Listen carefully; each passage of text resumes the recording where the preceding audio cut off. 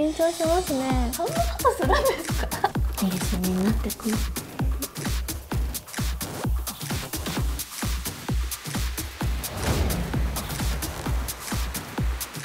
深層心理追求バラエティブラックラブ。恋愛真相追求バラエティブラックラブ！前回引き続きよろしくお願いします、よろしくお願いします。ね、結構キスのところで、はい。ああだこうだ言ってましたけどいや自分自身はキスに自信があるんですかって話ですよ。わお、うんわそこからが大事だと思ってるんで結構そこに力は入れるつもりで。す、ー。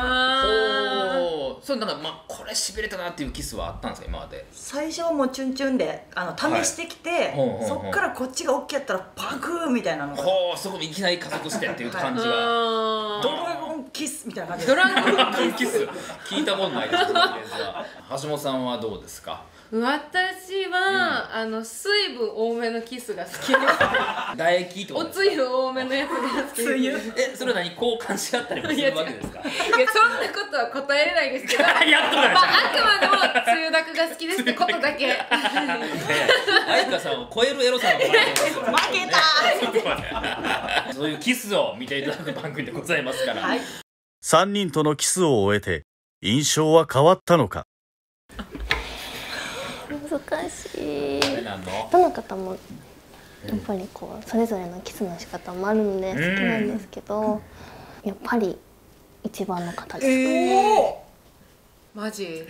ひげ家がいい。あ好き。あひげのもしゃもしゃ感がこうああるなっていう感じがすごく幸せでした。おー。はい。セカンドステージ終わりましたけど。ね私のスキピが認められて初めてええ。でもとなると喋った感じもいいキスした感じも悪くない、しかもヒゲが好きってことはもう見た目もいいってことやからもういっちゃうよねこのまま。うん。ねえ、うん。しゅんさん行かなかったか。面白い。どうですか橋本さんこれ。東谷さんの成長は若干見られたんですかね、いや東谷さんの成長というよりかはリサさんがこう乗ってったのが、はい。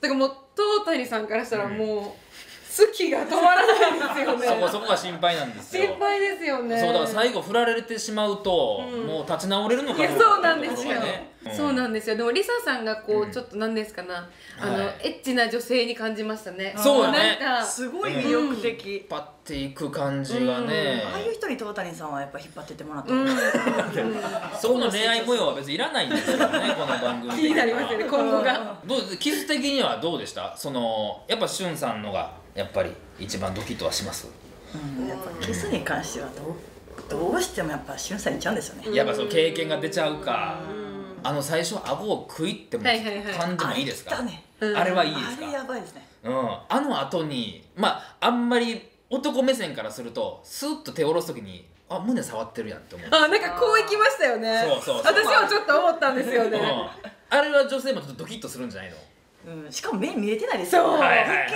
触られた位置とかでこう感じますよね、めちゃくちゃイケメンと妄想して私やったら注意しちゃいそう、ああさらにちょっとよ欲情が、うんうんはいはい。はい、でもそれでも選んだのは浜田さんなんですよ。そうか。うん。僕は言っちゃいそうな気ますけどね。し気しますけどねもうね、うん。これであかんかったらもう浜田さんの顔がダメってことになります。そうですね、はい、確かに。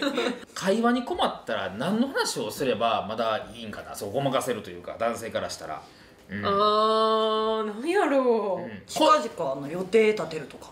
あ次に会う。ああなるほどね、うんうんうんそしたらやっぱ話膨らみますよね。なるほどなるほど。でももう会いたくないっていう時はどう断るというかどう逃げるの？スケジュールちょっとまだ読めてないから分かったら連絡する、あそれアウトだああそう。やっぱり気になってる人やったらどうにかしてないつ行けるかみたいなの出すか。なるべく早くキンキンでこの時間なら空いてるからご飯行こうみたいな、なるんやね。ね橋本さんもそう。いや本当そうですね、もうなんか言ってくる人いるじゃないですか、うん。はい。え水曜は、うん。あじゃあじゃあ木曜は、うんうん。あ俺金曜も行けるわみたいな。うん必死なやな。そう。なるそういうのはもうだから、あでもちょっとロケ入ってるからロケ続いてるわみたいな感じで。もう脈なしその時点で。うーんとかあ,、あほなみんなにも聞いてみようよみたいな。はそれは。感じでもうなあなあなあぐらいの感じでもう二人の会話終わらせます、あ疲れい様やー。これちなみにですね、はい。お二人はなんか好きな人に好きと言わずに伝える技とかありますか？うん好きと。直接好きと言わずに。好きってうん言いますか？私好きって言っちゃいますね。あ言っちゃう。これどうどうです？お二人実践的に僕相手ですけどいけますか？それは、うんやってみます、いいですか？もうこはい。れは僕はい、よろしいですか？これじゃあ場所的には。まあ、カラオケぐらいにしますおおはい、飲んだ後のカラオケぐらいですか、うん、で、はい。あの、ん。誰かが歌っててこうちょっとガヤガヤしてるぐらいのもう二人きりじゃない？じゃないです。みんないて。おおいけるこうそのタイミングで。ちょっとこうガヤガヤして。はいはいはる感じで。いはいお願いします。ちょっと寒くない？ああちょっと空調あれかな。えそのパーカー？うん。え借りてもいい、あこれ、いやいやええけどやな。貸して。え？寒い寒い 貸しておおちょっと待ってな、おほんまにうん。あ、分かった、じゃあもう、はい、これなはいはいはい。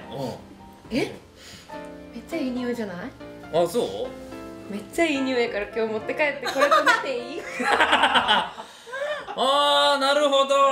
もう匂いいいんやったら、ちょっと好意持ってるやんって思うもんね。うん。あー、すみません、なんか俺途中ほんまにのことして。はー、やっぱ匂いって大事なんでしょ？匂い大事ですうんね、うん。なんかこの好きやなって思ったらその匂いも好きになったりしますね、その逆ってパターンもあります。ね、へー。おさあ、愛花さん、愛花さん、今回実践いけますか？うぎょぎょーはい。まあ例えばこういうスタジオの後でちょっとこうえ、会話がスタジ盛り上がっオの後あちょっとで。席変わりますね。お願いします。ね。こうやって収録が終わった後のことですか？終わった後。じゃあ、一回行ってみましょうか。まあはい。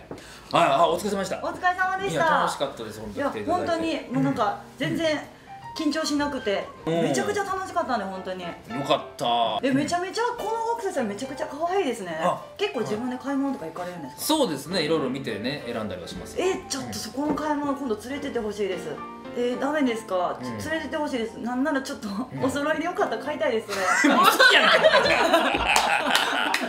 はあ、そんなとこで攻めますか。みたいな。だから外でうん。会いたい、お揃いにしたいあなたといると楽しいを伝える方に頑張るから、はいはいはいそういうことね。え、実際じゃあ、お仕事で会った人とそういうことになることもあるってことですか？うわーしたいなと思う人はいたけど結局奥手なんで私結構。あ意外にそうなんですね理想ですああなるほど。今度はこれをやれれば落ちる可能性あんのにと思ってるけどなかなか出せないってことですね。大きなお揃いのあれ可愛い欲しい。一緒でにこんなん愛花さんに言われたら一コロですよね、男性からしたらね、言言えないんですよね。うん。いいですね。これこそままさにギャップ萌えですよね。さあ愛花さんはどう見ましたか？誰を選ぶと思います？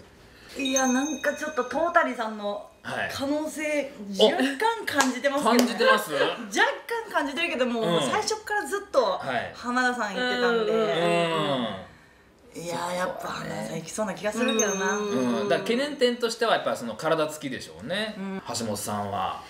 確かに浜田さんとはうん。こう盛り上がってましたけど、はい確かにこう外した時の印象はよくなさそうに感じました、うんちょっとトーンダウンした感じはあったけども、トータに。なる？もう呼び捨ていった。なる？トータトータににいっちゃう。じいちゃん褒められてたしね、全部自分の力じゃないですからはい。さあ最後誰を選ぶのか結果を見てみましょう。それではどうぞ。すべてのステージを終えた3名。果たして誰が選ばれるのかブラックラブ。